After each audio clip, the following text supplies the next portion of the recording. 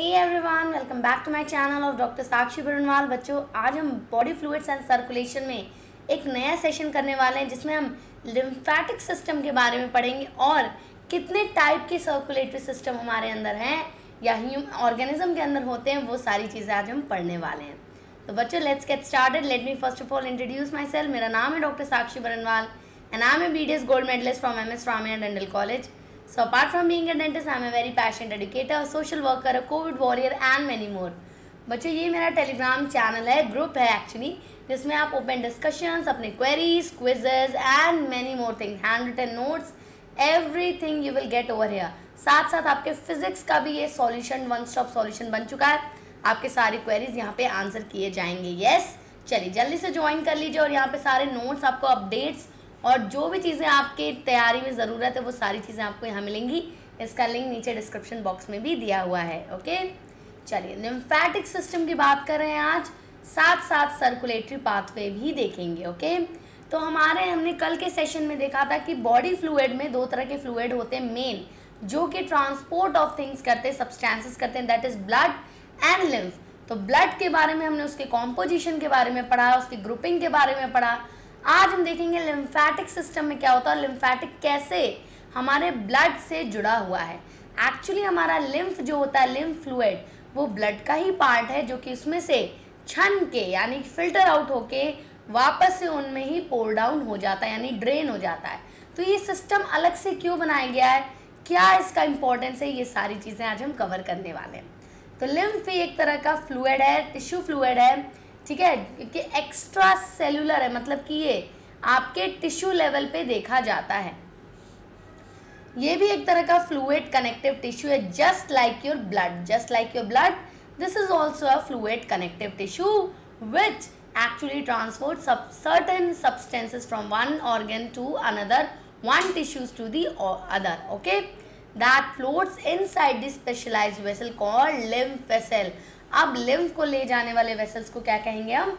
Lymph vessels right ये कैसा होता है? कलरलेस लिक्विड होता है कलरलेस फ्लूड होता है, क्योंकि इसके अंदर क्या एबसेंट होगा? आरबीसी अगर जैसे ही नाम आ जाएगा, ये कलरलेस है, यानी आरबीसी का रोल खत्म हो चुका है, यहाँ कोई आरबीसी नहीं प्रेजेंट है, इसलिए कलरलेस है।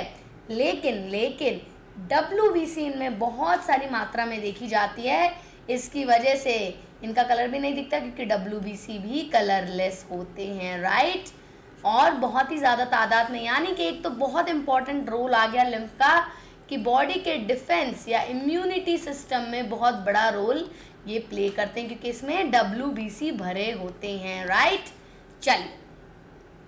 It has same mineral distribution is that in plasma plasma में जो मिनरल डिस्ट्रीब्यूशन होता है सिमिलर हमारे लिम्फ में भी होता है, क्योंकि lymph actually a filter out blood है, जिसमें कि प्लाज्मा के साथ साथ आपके डब्ल्यू भी आ जाते हैं। क्लियर है? तो प्लाज्मा का कंटेंट जो होता है आपका, वो एज सच इसमें भी आपको देखने को मिलेगा।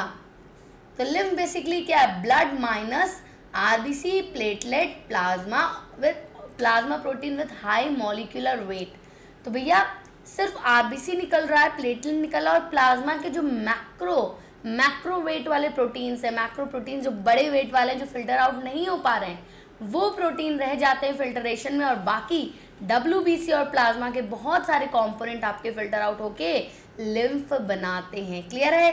तो अभी आपको याद रखना है blood minus RBC platelet and protein with high molecular weight in plasma उनको अगर माइनस कर दिया जाए तो बन जाएगा लिम्फ फ्लूड राइट चलिए।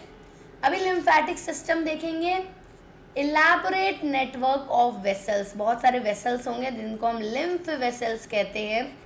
ये सारे रन कर रहे होंगे जिसमें लिम्फ फ्लूड आपका भरा रहेगा रन करेगा which collects the interstitial fluid जिसको हम टिश्यू फ्लूड भी कहते हैं।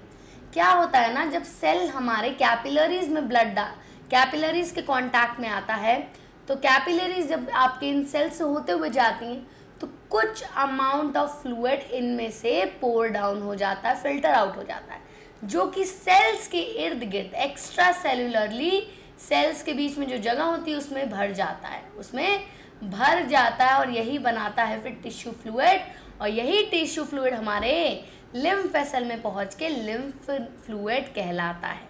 ठीक है? Along with some protein molecules drain back into the major veins तो टिश्यू के लेवल पे ही ये ड्रेन आउट हो रहा है और फिर लिम्फ वेसल के थ्रू होते हुए वापस से ये ब्लड में ही मिलता है by the help of veins और वेसल्स के थ्रू वापस से ब्लड में ही ये मिल जाता, ब्लड से ही निकलता है, ब्लड में ही पहुँच जाता तो बीच में इसका रोल होता है, ठीक है, बीच में चीज़ों के ट्रांसपोर्ट में ये मदद करता है।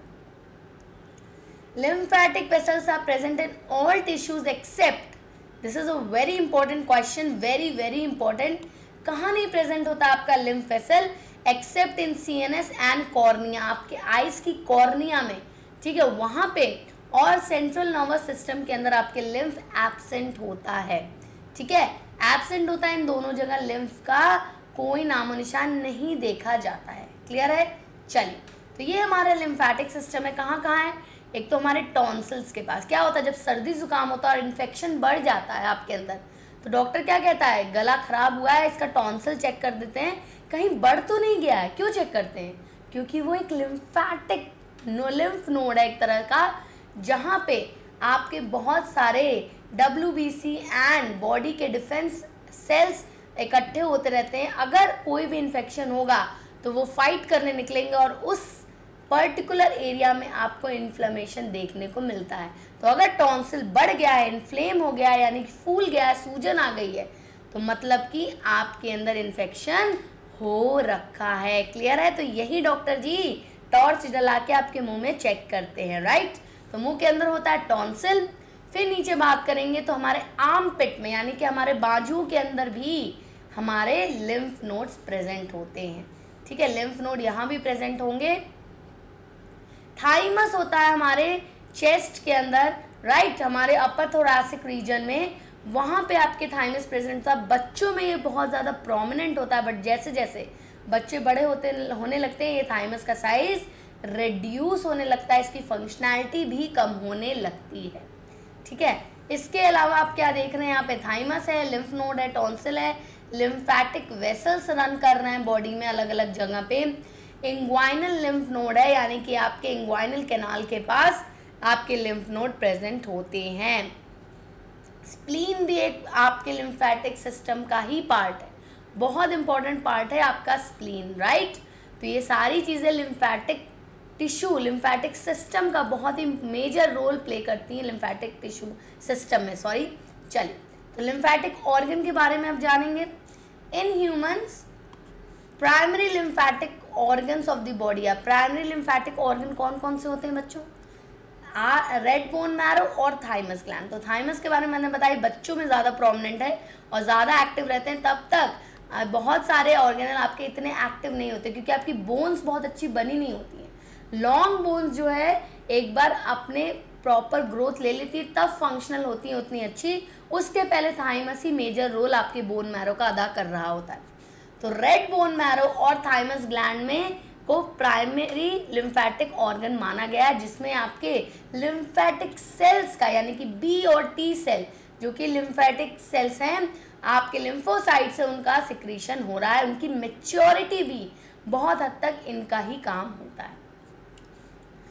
Haematopoietic stem cells and red bone marrow gives rise to B cells and pre T cells कौन से सेल प्री टी सेल यानी टी सेल अभी मेच्योर नहीं हुए इनको मेच्योर होने के लिए कहीं ना कहीं जाना पड़ेगा जहाँ पे ये मेच्योर हो और फाइनली हेल्पफुल हो बॉडी के इम्यून सिस्टम में राइट तो ये मेच्योर होने के लिए थाइमस में जाते हैं और वहाँ इनको मेच्योर किया जाता है in the form of T cell right then they get activated secondary lymphatic organ तो प्राइमरी लिम्फेटिक ऑर्गन में क्या नाम आएगा? जब प्राइमरी लिम्फैटिक ऑर्गन का नाम आ रहा है तो क्या होगा उसमें थाइमस होगा? और दूसरा होगा आपका रेड बोन मैरो राइट जब सेकेंडरी लिम्फेटिक ऑर्गन की बात हो रही है तो क्या होगा बच्चों? सोचो सोचो सोचो, अभी मैंने बात की। लिम्फ नोड्स होते हैं स्प्लीन है आपका, ये सब क्या है? सेकेंडरी लिम्फेटिक ऑर्गन्स हैं लिम्फ नोड हुआ टॉन्सिल हुआ, ये सब सेकेंडरी हैं। ठीक है, ये प्राइमरी नहीं कहलाएँगे स्प्लीन है। ठीक है? आपका टॉन्सिल भी मान लीजिए। बिल्कुल सही बात है। ये सारे क्या है? आपके सेकेंडरी लिम्फेटिक ऑर्गन्स में आते हैं। अब लिम्फ का फ़ंक्शन क्या है? Important carrier of nutrients and hormone definitely transport में तो ये हेल्प करेगा। जब भी किसी तरह का फ्लूड आपके बॉडी में, वो कुछ ना कुछ ट्रांसपोर्ट करने में आपका मदद करता है। यहाँ पे हार्मोन का न्यूट्रिशन का ट्रांसपोर्ट करने में लिम्फ मदद करता है। इसके अलावा एक बहुत मेजर रोल आपका लिम्फ प्ले करता है इन डाइजेशन एंड एब्जॉर्प्शन आपका जो फैट होता है, वो बड़ा ही ज़िद्दी होता है। ज़िद्दी होता है बॉडी में कहता है, मैं तो बसा रहूँगा, मैं, मेरा यूटिलाइजेशन जल्दी नहीं हो पाएगा। ये लिम्फ होता है, जो कि जाके लिम्फ से वेसल्स के थ्रू अपने अपने फैट का ट्रांसपोर्ट करता है इंटेस्टाइनल विलाई के थ्रू फैट को लेता है, उनका एब्जॉर्प्शन करवाता है, ताकि उनका डाइजेशन प्रॉपर तरीके से हो पाए। तो एब्जॉर्प्शन ऑफ़ फैट में बहुत ही ज़्यादा हेल्पफुल है हमारा लिम्फ ठीक है, किसके थ्रू इंटेस्टाइनल विलाई के थ्रू उनके लैक्टियल्स में आ जाता है right also helps in also helps in renewal of extra cellular fluid ये एक्स्ट्रा सेलुलर फ्लूड क्या है? Extra cellular fluid is a tissue fluid जो सेल के बाहर देखे जाते हैं। अब भैया टिश्यू फ्लूड जो है वो कांस्टेंट तो नहीं रहते हैं ना। निकलते हैं, आगे बढ़ते हैं ब्लड है सर्कुलेशन लगातार चलता रहता है। ऐसा तो नहीं है ब्लड रुक जाता है कि भैया थोड़ा पॉज लेते, थक गए हैं।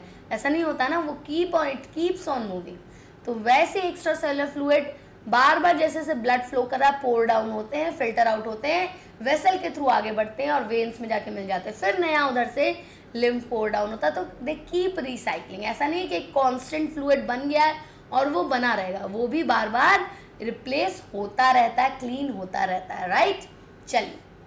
मैच्योरेशन ऑफ़ लिम्फोसाइट लिम्फोसाइट के मैच्योरेशन बी और टी सेल दोनों के मैच्योरेशन में बहुत ज़्यादा मदद करता है आपका लिम्फ बेसिकली थाइमस और आपके लिम्फ नोड जो हैं, इनका स्टोर हाउस बनते हैं, इनको अच्छी तरह से मेच्योर करने में मदद करते हैं और जब ज़रूरत पड़ती है तो उनको फाइट के लिए वो ही भेज देते हैं राइट चलिए।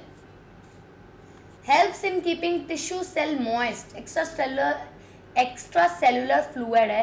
टिश्यूज़ को एक लुब्रिकेशन एक मॉइस्टनेस देता है, एक मॉइस्चर प्रोवाइड करता है, ताकि वो अलाइव रह सकें राइट कोई भी चीज़ अलाइव तब होती है जब वो पूरी तरह डिहाइड्रेट नहीं। हम भी डिहाइड्रेट होते हैं, हमें क्या होता है? चक्कर आने लगता है। क्यों? क्योंकि पानी की कमी होगी तो लुब्रिकेशन गायब रहेगा, पानी का बैलेंस गड़बड़ाएगा हमारे शरीर में और सब तो गड़बड़ हो जाएगा भाई। चलिए। Lymph first reaches the lymph node like thymus tonsil Peyer's patches clean etcetera in the body तो लिम्फ पहले अपने सारे लिम्फेटिक ऑर्गन तक जाता है, उसके बाद फाइनली ड्रेन करता है, क्योंकि वहाँ पे उसको चेक करना होता है कि भैया जितने भी वोन आउट सेल है, या कोई मेच्योरिटी के लिए कुछ रिप्लेसमेंट चाहिए, कुछ भी चाहिए तो वो पहले उनको सप्लाई कर देगा, तब फाइनली वो ड्रेन होता है बॉडी में राइट तो पहले वो अपने अपने जाके ऑफ़िस में पहुँचता है कि भैया सब सही है कि नहीं, तब मैं तब मैं देखूँगा, ठीक है? पहले अपना घर देखेगा ना, फिर दूसरी जगह देखेगा। तो अपने हर पोस्ट पे वो जाता है, देखता चेक करता सब सही है। उसके बाद ही वो बॉडी में पूरी तरह से फ्लो करने जाता है। Difference between blood and lymph ये आपको समझ आ गया होगा कि ब्लड से ही लिम्फ बना हुआ है। ठीक है, लेकिन मेजर मेजर डिफरेंस हम देखेंगे लिम्फ जो हमारा है कलरलेस होता है, क्योंकि इसमें आरबीसी एबसेंट है। लेकिन ये रेड कलर होता है, क्योंकि इसमें आरबीसी प्रेजेंट है, जिसके अंदर हीमोग्लोबिन होता है, जो कि रेड कलर इन्हें दे रहा है। प्लाज्मा होता है, लेकिन इसमें मैक्रो मॉलिक्यूल्स गायब होते हैं मतलब हायर मॉलिकुलर वेट वाले प्रोटीन्स गायब होते हैं। ठीक है? It contains lesser number of W B C and platelet platelet की मात्रा ना के बराबर इसमें होती है। इसमें सारी चीज़ें प्लाज्मा भी होता है आरबीसी भी होता है डब्ल्यू बी सी भी होता है प्लेटलेट भी होता है। ये बॉडी के डिफेंस में बहुत ज़्यादा मदद करता है ये। गैसेस के एक्सचेंज में सबसे ज़्यादा मदद करता है हमारा ब्लड, उसके अलावा भी बहुत सारे एक्टिविटीज़ करता है बट डिफेंस में मेजर रोल हमारा लिम्फ प्ले करता है, क्योंकि डब्ल्यूबीसी का बहुत ही तगड़ा आपका स्टोर हाउस बनाया रहता है वो। These lacks protein high molecular protein you can write these plasma have its plasma have protein calcium phosphorus सारे आयन्स भी प्रेजेंट होते हैं। आप यहाँ पे हाई मॉलिकुलर वेट एक्सप्रेस कर दीजिएगा। That will be more beneficial ये हम नहीं कहेंगे it is devoid of protein it's a wrong statement to give it transport nutrient from tissue cells to blood through lymphatic vessels right it transport nutrient and oxygen from one organ to another तो देखो ये blood से ही निकल के blood में ही मिल रहा है, लेकिन ये ऑर्गेन टू ऑर्गेन ट्रेवल करता है। Flow of lymph is slow blood flow काफ़ी फास्ट है as compare to lymph fast का ही मतलब नहीं कि भाग रहा है भाग रहा है भाग रहा है नहीं। कंपैरिजन में ये स्लो प्रोसेस है, ये थोड़ा फास्ट है उसके कंपैरिजन में, ठीक है? तो ये हमारा डिफरेंस था ब्लड और लिम्फ के बीच में। अभी जानेंगे सर्कुलेटरी पाथवे क्या होते हैं। Depending upon the circulatory pattern in higher organism circulatory pathway दो तरह के होंगे।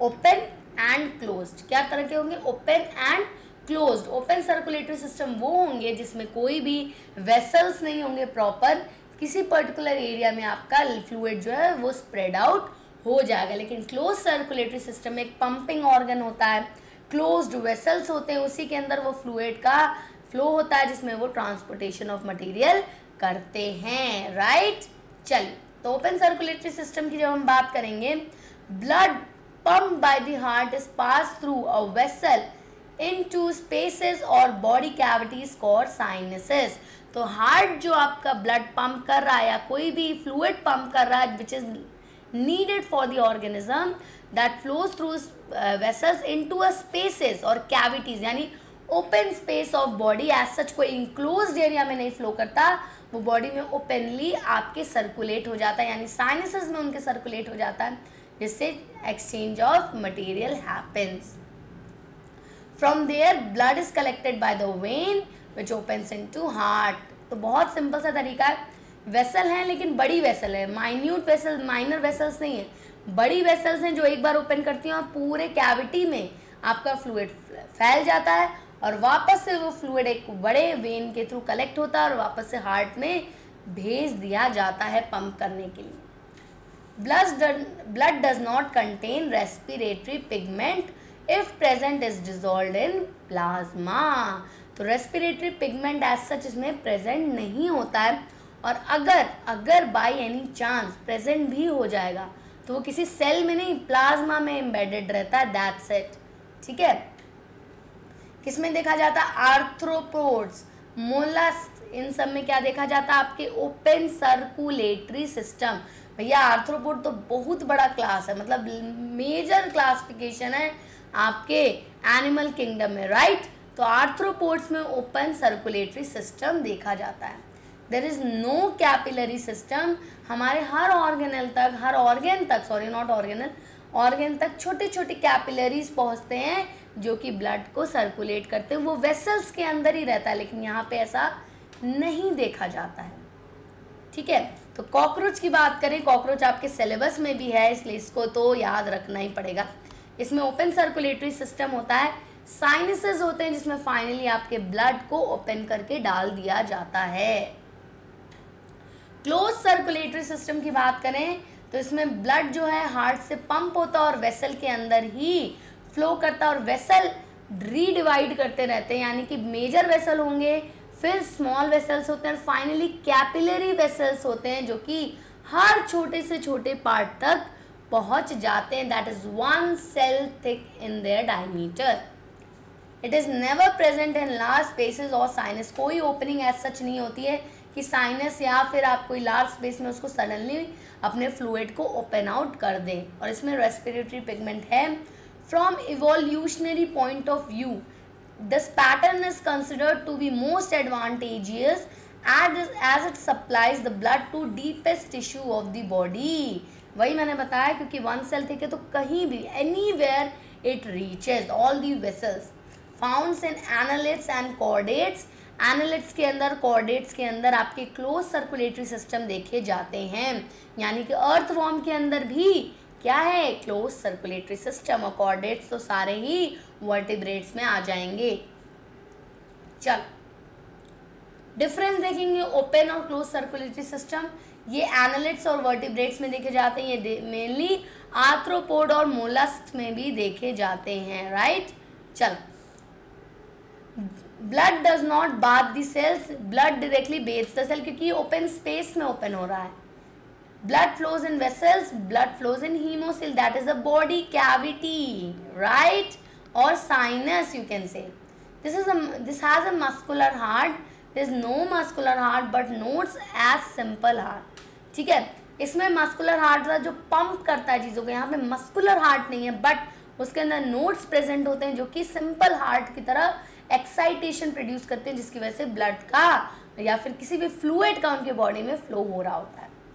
यहाँ पे हाई ब्लड प्रेशर हो सकता है मोस्ट ऑफ़ द टाइम क्योंकि ब्लड पंप होता रहता है और यहाँ पे लो ब्लड प्रेशर देखा जाता है, क्योंकि एज सच उस पर कोई भी प्रेशर नहीं लग रहा बहुत heavy this contains haemoglobin no haemoglobin is present example कौन इसके? Earth earthworm fish frog human इसके कौन है? Insect आर्थनेट्स and cockroaches you can write any of the arthropod name okay चल। Heart the pumping organ in vertebrate all vertebrate possess a muscular chambered heart depending on different types of circulation there are three types of three types of what types of heart what is two chambered three chambered and four chamber तो two three four तीन तरह के heart present होते हैं different different vertebrate में। तो जब हम टू चैम्बर्ड की बात करें तो उसमें एक ऑरिकल होता है और एक ही वेंट्रिकल होता है, क्योंकि मोस्टली पाइसेस यानी फिशेज में देखा जाता है किसमें फिशेज में देखा जाता है, इसमें एक एट्रियम और एक ही वेंट्रिकल प्रेजेंट होता है।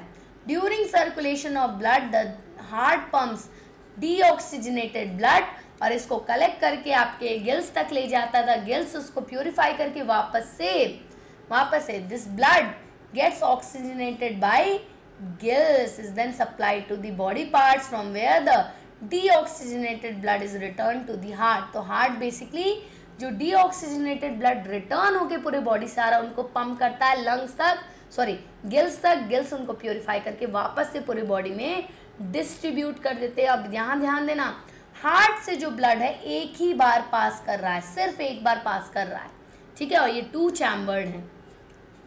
इसलिए इनको सिंगल सर्कुलेशन कहेंगे, क्योंकि एक ही बार ब्लड आपके हार्ट से पास हो रहा है। बात करेंगे थ्री चैम्बर्ड की तो थ्री चैम्बर्ड हार्ट एम्फीबियंस में देखे जाते हैं और रेप्टाइल्स में। रेप्टाइल में एक बहुत ही मेजर एक्सेप्शन है दैट इज़ क्रोकोडाइल क्रोकोडाइल जो है, एक ही जनाब है जो फोर चैम्बर्ड हार्ट रखते हैं। बाकी सारे रेप्टाइल्स में थ्री चैम्बर्ड हार्ट देखा जाता है। और this is a very important question of P Y Q and very important question according to your NEET exam point of view okay बहुत ध्यान से याद रखिएगा, सिर्फ़ आपके क्रोकोडाइल में फोर चैम्बर्ड हार्ट होते हैं in reptile other than that all amphibian and reptile have three chambered heart three chambered की जब बात करें, उसमें दो एट्रिया होते हैं, यानी दो ऑरिकल्स होते हैं और एक वेंट्रिकल प्रेजेंट होता है, यानी वेंट्रिकल में आपका ब्लड मिक्स होता है। एट्रिया में भले ही वो अलग अलग ऑक्सीजनेटेड और डीऑक्सीजनेटेड को अलग रख ले। During the circulation of blood the atrium receives the oxygenated blood from gills lung or skin and right atrium receives deoxygenated blood from other part of body.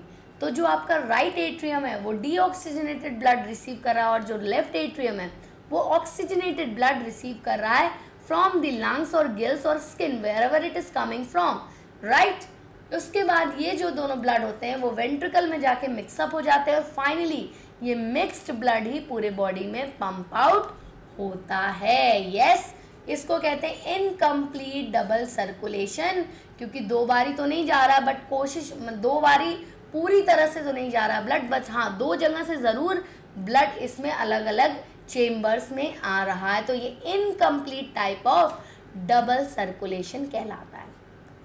Last but not the least four chambered heart जो हमारे अंदर होता है crocodile के अंदर होता है mainly सारे सारे इंपॉर्टेंट मैमल्स और बर्ड्स के अंदर देखे जाते हैं। जिसमें दो एट्रिया और दो वेंट्रिकल होते हैं, यानी दो ऊपर एट्रिया नीचे दो वेंट्रिकल होंगे, और सारे कंपार्टमेंट एक दूसरे से एक सेप्टम के थ्रू आपके डिफ्रेंशिएटेड रहते हैं, यानी डिस्टिंग्विश रहते हैं। उनका कोई मिलन नहीं हो रहा है। हर कंपार्टमेंट अपने आप में यूनिक है। कोई मिक्सिंग उनमें नहीं पॉसिबल होती है। ऑक्सीजनेटेड ब्लड जो है, वो भी आता है डीऑक्सीजनेटेड ब्लड जो है, वो भी आता है, लेकिन अलग अलग चेम्बर्स में आता है। ठीक है ऑक्सीजनेटेड लेफ़्ट साइड आता है और डीऑक्सीजनेटेड राइट साइड आपका पहुँचता है। और वहाँ से वेंट्रिकल में जाता है सेम साइड के विदाउट मिक्सिंग क्योंकि अब वेंट्रिकल के बीच में भी चेम्बर प्रेजेंट है। और फाइनली वेंट्रिकल के बाद पहुँचने में वो पूरा पंप आउट होता है हार्ट से। बाहर हार्ट से बाहर पंप आउट हो जाएगा विदाउट मिक्सिंग इसलिए इसको कहते हैं डबल सर्कुलेशन क्या कहते हैं बच्चों?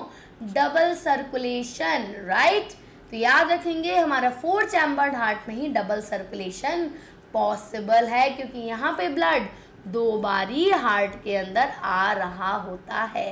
क्लियर है? दैट्स इट फॉर टुडे आज का टॉपिक होपफुली सबको अब क्लियर होगा। अब हम चलते हैं हमारे क्विज टाइम पे, जिससे मैं आपसे मैं दो सवाल पूछूँगी, जो आपके इसी सेशन से रिलेटेड होगा और उसका जवाब आपको नीचे कमेंट सेक्शन में देना है। बच्चों, एक बात और, अगर आपको सेशन अच्छा लगा है, बहुत अच्छा लगा है और थोड़ा सा भी अच्छा लगा है तो जल्दी से लाइक कर दीजिए, अपना प्यार थोड़ा सा बरसाइए। सब्सक्राइब ज़रूर कर दीजिएगा चैनल को and definitely hit the bell icon ताकि आपको ऐसे ही मैं पढ़ाती रहूँ और सबको इन्फॉर्मेशन मिलती रहे कि ऐसे सेशंस आपके लिए हो रहे हैं which is crisp related to your just studies nothing else okay तो एक बात और है बच्चों, इसको keep keep sharing with all your friends let them know let the world know that such sessions are going on okay और daily बारह बजे मेरे सेशंस वैसे लाइव होते हैं, इसलिए बेल आइकन ज़रूर प्रेस कर देंगे ताकि अगर कोई इंपॉर्टेंट अपडेट आ रही है कोई इन्फॉर्मेशन आ रही है, वो आप तक सही समय पे पहुँच पाए। Close circulatory system occurs in close circulatory system किसके अंदर?